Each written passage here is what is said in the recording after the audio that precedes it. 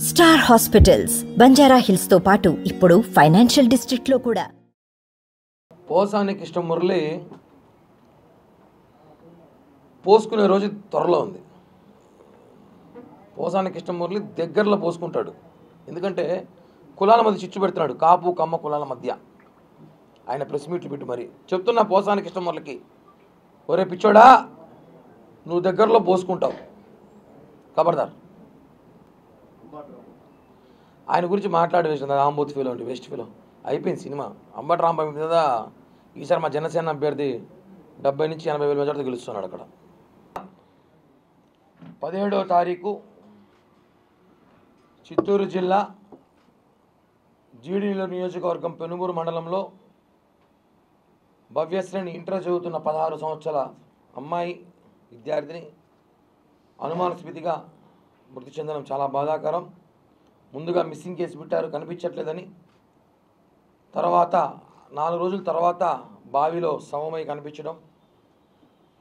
ఆ శవం దొరికా కూడా ఇప్పటికీ ఐదు రోజులు అవుతుంది. దాదాపు తొమ్మిది రోజులు కావస్తుంది ఇప్పటి వరకు ఆ కేసు మిస్టరీ వీడలేదు. ఈ జిల్లాలో ముగ్గురు మంత్రులు ఉన్నారు. ముగ్గురు మంత్రులు ఏమయ్యారు? చిత్తూరు జిల్లా సంబంధించి ముగ్గురు మంత్రులు పెద్దిరెడ్డి రామచంద్రరెడ్డి గారు కానివ్వండి. అదే నియోజకవర్గంలో ఎమ్మెల్యే నుంచి మంత్రి తీసుకున్న రెండుసార్లు మంత్రి అయిన నారాయణ స్వామి కానివ్వండి. అదే జిల్లా నుంచి మా అవ్వ రోజవ్వ కానివ్వండి. ఎక్కడున్నారు? నేను ఒక డైలాగు మామూలుగా మన రోజవ్వ చెప్తుంటుంది మాకు అందరికి బాగా గుర్తుండేది అది. ఇప్పుడు అదేదో డైలాగు. గన్ను కన్నా ముందు జగను జగన్ కన్నా గన్ను ముందు ఒకసారి విందాం అది. అది ఏం డైలాగ్ ఒకసారి? కష్టం వస్తే వచ్చే లోపల జగన్ వచ్చి శిక్షిస్తాడన్నా.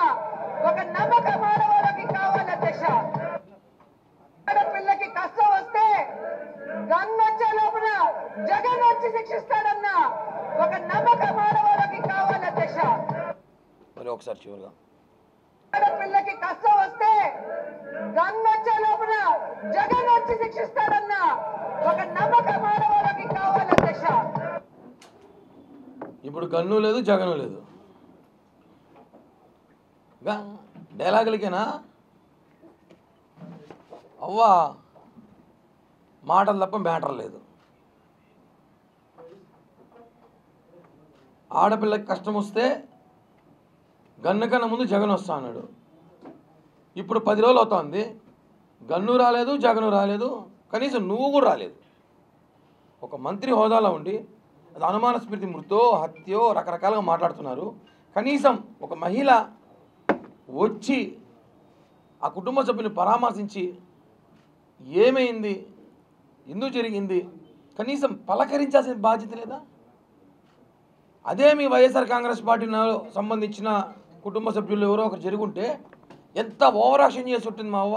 ఇంత నోరేసుకొని ఉంటుంది ఇంత పెద్ద నోరేసుకొని రాష్ట్రంలో ఇంతమంది పడతావే? నీ నియోజకవర్గం పక్కనే నగిరి పెనుమూరు ముప్పై కిలోమీటర్లు లేదు. కనీసం వెళ్ళి పరామర్శించి ఏమైందో కొనుక్కోవాలి కదా. ఎందుకు పోలేదు?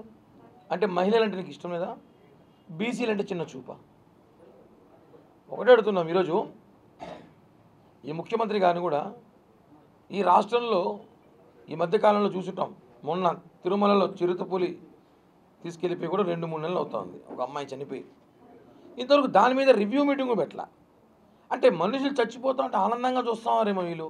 సంబరాలు చేసుకుంటున్నారు జనం తగ్గిపోతే పథకాలు తగ్గిపోతాయి? లేకపోతే ఏదైనా పింఛన్లు తగ్గిపోతాం ఆలోచిద్దాం. చిన్న చిన్న పిల్లోలండి. మంత్రి రోజాకి ఒకటే చెప్తున్నాం. నోరు వేసుకొని పడడం కాదు. నిజంగానే నువ్వు ఒక ఆడదయ్యి ఉంటే నీకు నిజంగానే మానవత్వం ఉంటే కనీసం వాళ్ళ కుటుంబ సభ్యులు వెళ్ళి ఫోన్ల ద్వారా అన్నా నువ్వు బిజీ. ఏదో కొండపైన దర్శనాలు లేకపోతే కాణిపాకం దర్శనాలు ఏడో బిజీగా ఉంటాం అనుకుంటాం. ఏదో వ్యాపార లావాదేవీల్లో వీళ్ళు. కనీసం వాళ్ళ కుటుంబ సభ్యుల్ని పరామర్శించిన బాధ్యత లేదా? తొమ్మిది రోజులు కావస్తుంది. ఇంతవరకు ఆ కేసు ఛేదించలేకపోతున్నారు. ఏమైనా మాట్లాడితే ఎస్పీ కేసులు పెడతాడంట. అంటే అడిగితే ప్రతిపక్షాలు ప్రజలు అడిగితే కేసులు పెట్టేస్తారు. ఎస్పీ గారంటే చిత్తూరు ఎస్పీ గారంటే మనందరూ తెలుసు. చాలా రెస్పెక్టబుల్ అయిన గౌరవనీయంగా పద్ధతిగా నిజాయితీగా అస్సలు అలాంటి ఎస్పీ భారతదేశంలో ఉండరు. అంత గొప్ప ఎస్పీ అయినా ఎంత బాగా పనిచేస్తారంటే అసలు నిజంగానే అలాంటి ఎస్పీని ఎక్కడ చూసున్నాను అంత గొప్ప ఎస్పీ ఆయన. ఆయన కూడా నేను ఏమైనా భవ్యశ్రీ విషయంలో ఎవరైనా ఫేస్బుక్లో సోషల్ మీడియాలో కామెంట్ చేసి కేసులు పెడతా అంటే పెట్టండి అందరూ లోపల. ఆంధ్రప్రదేశ్ రాష్ట్రంలో ఐదు కోట్ల మంది లోపల పెట్టండి ఓ పని అయిపోతుంది. మీరు మాత్రం తిరుక్కోండి. చెప్పడం వర్డ్ ఏంది ఇందులో? విచారిస్తున్నాం. జరుగుతుంది. నిజ నిజాలు బయటకు వస్తాయి చెప్పాలి. అడిగితేలో జైల్లో పెడతారంటారు. ఎంతమందిని పెడతారు జైల్లో? ఇది కరెక్ట్ కాదు. ప్రజాస్వామ్యంలో ప్రతిపక్షాలు అన్నాక హ్యూమన్ రైట్స్ కమిషన్లు ఉన్నాయి. ఒక మహిళా సంఘాలు ఉన్నాయి. వాళ్ళందరూ అడుగుతారు. చెప్పాల్సిన బాధ్యత మీకుంది. చెప్పకుండా ఈ విషయంలో మంత్రి రోజావర్ అయితే మాత్రం నేను తీవ్రంగా విమర్శిస్తాం ఖండిస్తాం. నోరేసుకొని పడడం కాదు. పవన్ కళ్యాణ్ మీరు మాట్లాడడానికి అమరావతికి వెళ్ళిపోతే ఫసక్కి వెళ్ళిపోతావే? ప్రెస్ మీట్ పెట్టు టపా టపా టపా మాట్లాడి వస్తావే? నీ పక్క కాన్స్టెన్స్ ముప్పై కిలోమీటర్లు కరెక్ట్గా ఇరవై రెండు నిమిషాల జర్నీ నీ కారు అయితే. నీకు రెండు మూడు కార్లు ఉన్నాయి నాలుగైదు కార్లు ఉన్నాయి అనుకుంటా. ఒక కార్లో పోతే ఇరవై నిమిషాలు ఒక కార్లో పోతే అరగంట ఒక కార్లో పోతే నలభై నిమిషాలు. ఇంకా స్పీడ్గా పోయే కారు ఏదో కొనుంటున్నాం ఈ మధ్య. పది నిమిషాలు పోయే కారు. పోవచ్చు కదా పోయి పరామర్శించి. డబ్బులే డబ్బులు అడగరు నువ్వు ఎట్ట ఇవ్వు మేము ఒకటే డిమాండ్ చేస్తున్నాం జనసేన పార్టీ తరపున ఆ కుటుంబానికి నష్టపరిహారంగా కోటి రూపాయలు. సారీ ఈ ప్రభుత్వం డబ్బుల్లో కోటి రూపాయలు లేదనుకోండి. ఓ యాభై లక్షలు. యాభై లక్షలు వీలేరులే. ఎంతోగా తీయండి వాళ్ళ కుటుంబానికి. ఎందుకంటే మీరు జీతాలు ఇవ్వట్లే. ఆ ప్రభుత్వంలో పనిచేసే వాళ్ళు డబ్బులు కాజేసి వాళ్ళ డబ్బులు వాళ్ళకే ఇస్తున్నారు. డబ్బులు లేవు. కాబట్టి ఎంతో కొంత తోచింది వాళ్ళ కుటుంబం సహాయం చేయండి. మేమేదో కోటి రూపాయలు అని చెప్పి మళ్ళీ యాభై లక్షలు అని చెప్పి ఇరవై ఐదు లక్షలు అని చెప్పి లాస్ట్కి మీరు ఏమి ఇచ్చేయలేము ఎంతో కొంత తీయండి అయినా ఇచ్చి మా కుటుంబాన్ని ఆదుకోండి. వాళ్ళ ఆర్థిక పరిస్థితి బాగాలేదంట ఆ అమ్మాయి ఒకటే వాళ్ళ కుటుంబాన్ని దిక్కు. ఒక అమ్మాయిగా ఫోరెన్సిక్ ల్యాబ్ రిపోర్ట్ రాని వెయిట్ చేస్తున్నాం. మేము కూడా. మేము కూడా మాట్లాడలేదు. ఎందుకు మాట్లాడకూడదంటే ఏం ఇష్యూ అది ఇప్పుడు? మేము ఇప్పుడు దీన్ని రాజకీయం చేయడం లేదు. ఆ అమ్మాయి ఒక మానవతా దృక్పథంతో చనిపోయినాక వెళ్ళి ఇంత ఇష్యూ రాష్ట్రంలో జరిగింది. ఆ అమ్మాయి ఇష్యూ వైరల్ అయింది. కనీసం పరామర్శించాలి కదా. ఎందుకు పోలేదు? ఎవరైనా మీ బంధువులు మీకు సంబంధించిన ఉన్నారు అందులో నాకు అనుమానంగా ఉంది. ఈ విషయాన్ని సీరియస్గా కళ్యాణ్ గారు కూడా మా పార్టీ అధ్యక్షులు పవన్ కళ్యాణ్ గారు కూడా నిన్నటి దినం ఇది చాలా బాధాకరం అని చెప్పి కూడా ప్రెస్ నోట్ రిలీజ్ చేశారు. ఈ విషయం తెలుసుకోవాలి మీరు.